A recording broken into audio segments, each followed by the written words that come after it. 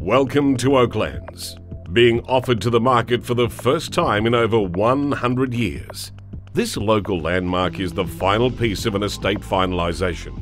On two lots, totalling approximately 3.5 acres of land, it is just minutes from the CBD of Ipswich. With all the hallmarks of historical significance, it is indeed a once in a lifetime opportunity to get your hands into a genuine piece of Ipswich's heritage.